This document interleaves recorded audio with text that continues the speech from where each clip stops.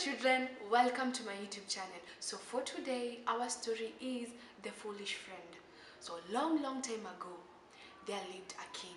And the king had a big palace. And in, pal and in his palace, he had different animals. In his palace, he had a monkey, he had birds, he had rabbits, an antelope, a squirrel. And each time, the king would attend to every single animal. Amongst all the animals, there was a favorite animal. And the favorite animal that the king was fond of was a monkey. He trusted the monkey and he, lived, he stayed most of the time with the monkey. The monkey would dress him up, they would go to the market with the monkey, they would just play together with the monkey. And the monkey would also fund the king to make him feel good each day they would spend time with each other. One day the king decided to go to hunt and this day he was not going to go with the monkey to hunt. So as he was going to hunt, he left the monkey. He left the monkey in the palace. So as he was going to hunt, he hunted for a while and then decided to come back to the palace. But he was tired.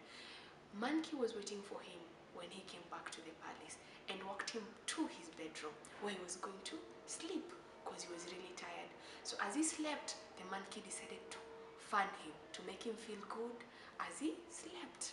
So the monkey started fanning the king. He fanned the king, he fanned the king.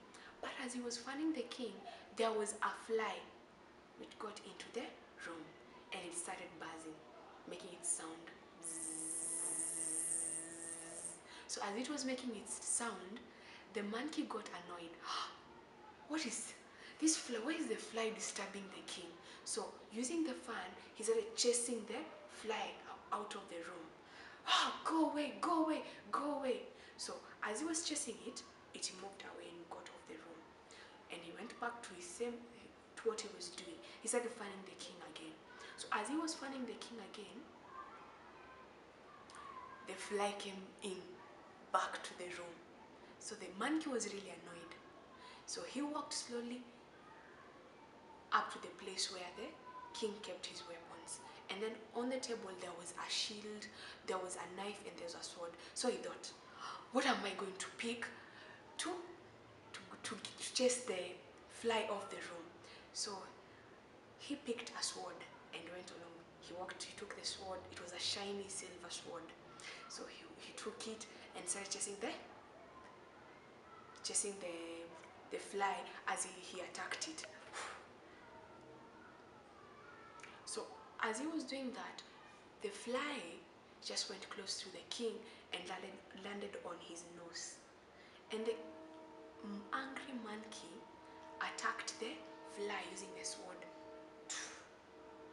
and accidentally just cut the king's nose into two pieces. So the king woke up with a cry, Oh, my nose is in two pieces. He cried and he cried. The monkey felt bad because he had harmed the king and did not know what to do. And the king still kept on crying, crying, not knowing what to do.